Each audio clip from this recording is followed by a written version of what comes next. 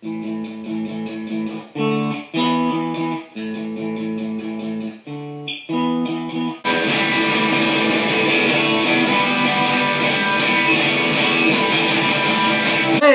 ho!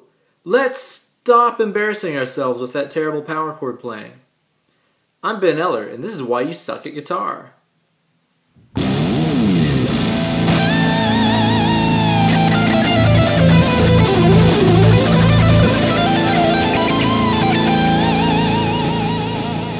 Today we're going to talk about something a lot of guitar players struggle with, which is playing power chords. Power chords are extremely important no matter what kind of music you're into, whether you play rock music or punk or heavy metal or whatever. You got to be playing power chords a lot if you play the guitar. So it's really important to get your act together and start playing these like a beast.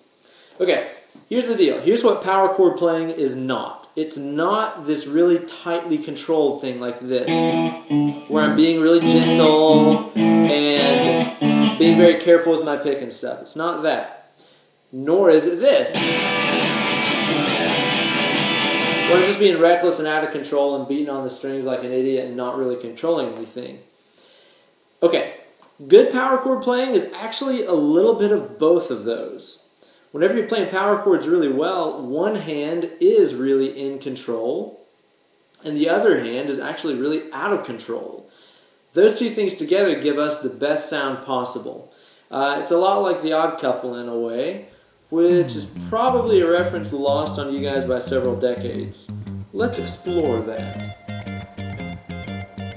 It's just some old TV show where some dingus named Felix, who's a real neat and tidy guy, lives with another dingus named Oscar, who's real messy and stuff.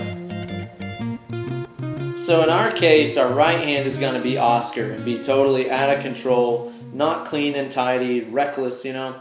And the, uh, the fretting hand here is going to be Felix and be very in control and neat and tidy. Those two things working together make power chord playing sound great.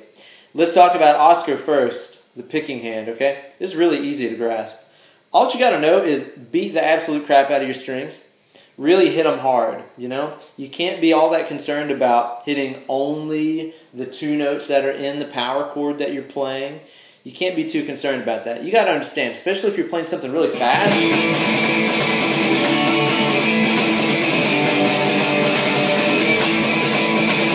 You cannot expect this hand to only hit two strings every time you're going up and down that fast. It's just not possible. So just let go of that. Don't even try to be neat. Beat them up. Keep a good, strong rhythm. That's really all that this hand has to do. That does, however, create a lot of problems if this hand is not on the ball. If this hand isn't holding things down, it's going to sound terrible. So let's go ahead and jump into talking about Felix over here. That's the more involved one. That'll take a minute. Let's get into it. Okay, so now you've got your picking hand under control, or rather out of control. It's smashing all the strings. It's just hitting all of them. You don't really even care if you're hitting the right strings or not. Cool, you're doing good. Now, the problem is it will still sound absolutely awful if you don't get this hand under control. So let's talk about Felix over here, the neat and tidy one. Let's get this under control. That way, all your uh, slamming it out on the strings over here will start to sound good. Here's the deal. You cannot use typical guitar technique when you do this technique. All right? If you play on the tips of your fingers, like this, if you play on the very tip of that index finger, it's going to create a lot of problems because all these strings are still going to ring out. So while I'm over here bashing with Oscar, all these strings are ringing out, typically sounding extremely awful. Here's what you got to do. You've got to play with a flat index finger. It's got to be flattened out like this. Look at the difference again. Here's arched up. Here's me playing on the tip of my finger. Here's me flattening out. One of the biggest differences I can point out is that I'm fretting the string right here on my finger. I'm not fretting it on the tip. I'm fretting it more on the pad of the finger, okay? If you try to fret on the tip, your finger's always going to arch up. See? You got to fret on the pad of the finger. Here's what happens. Whenever you fret that way, whenever you push down with the pad of the finger, you know, I'm just gripping down right there. The rest of my finger here is real loose and real relaxed. That is exactly what we want because it's going to mute all these strings out back here. Meaning, whenever I smash into them real haphazardly with my pick here, you don't hear them. They sound muted like this. Then our good notes. So again, I'm going to go through the string by string here. Here's the E, here's the A, here's the D being muted out by the back side of this finger. Here's the G being muted out. Here's the B, here's the E.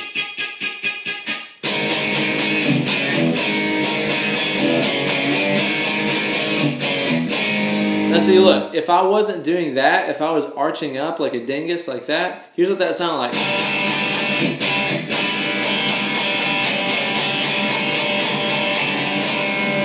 Sound like some kind of a loser.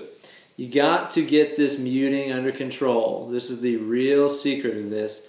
I've never seen any guitar magazines talk about this. I've never seen any online guitar lessons talk about this, but everybody does it. Watch Dave Grohl, watch Billie Joe Armstrong, watch anybody playing power chords, and you're going to see them doing this grip. Because who wants to concentrate on what they're doing with this hand and making sure they're hitting just the right strings and stuff?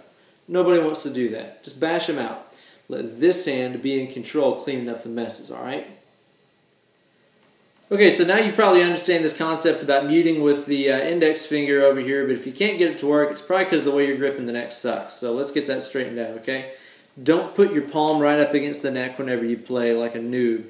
Whenever you do that, it makes your fingers too long for the neck, which means whenever you're trying to get to the strings, you're having to bend them. If you're doing that, you're never going to get that straight finger that we're looking for. So you can't do that. Here's how to correct your grip. Make a flipper out of your hand. Just straighten all your fingers, right? Slip that around the neck of the guitar. So now I got these straight fingers on this side. I got my thumb on the back here. And here's what I want you to do to get this straight index finger grip going on. Just slowly lower it until the pad of your pointer finger is on the low E string. Bam. There we go. Make your power chord now. There's your grip. Look, your palm isn't touching the neck anymore. You don't want that. Again, if we're up here, we're too long, we have to bend our fingers. No good. Bring that palm down. Now you fit on the neck. That should be all that you need to get this grip working, okay? Okay, so now you've got your technique worked out. Your uh, picking hand is if you're bashing the crap out of the strings. You're over here muting really well with this finger. You're doing good. But then when you play Iron Man like this,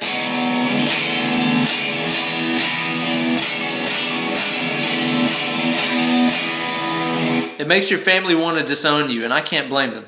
The thing is, is you've got to watch out for muting your low E string now. Anytime you're playing power chords with the pointer finger on the A string, what you've got to do is watch out for this low E now.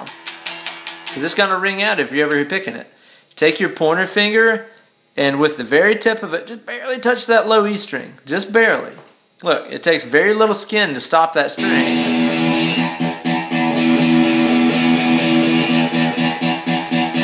See, I'm just barely poking at it. That's all it takes.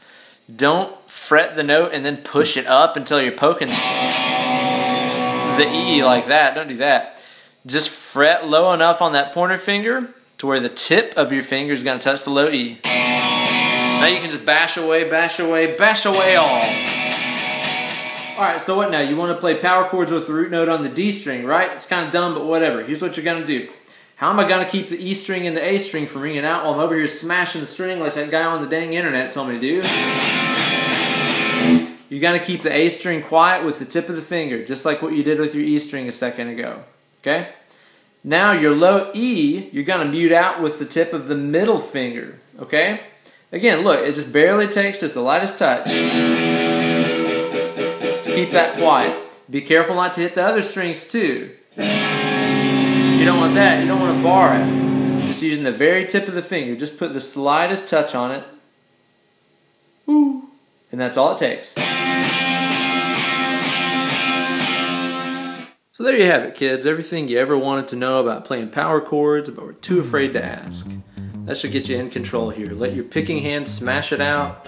Let your fretting hand be in control and clean it up. That should get you there. Uh, let me know if you got any questions about this. I'll answer that in the comments section and let me know what other lessons you would like to see. Tell me what you suck at and I'll tell you why you do, okay? Follow me on Twitter at Ben Eller Guitars. Subscribe to my channel and go get to work on that practicing, okay? See you kids later.